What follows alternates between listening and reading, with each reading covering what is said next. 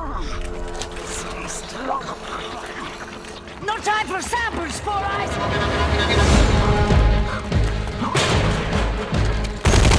Shit, go, go! That way, cut them off! On it, Lupo.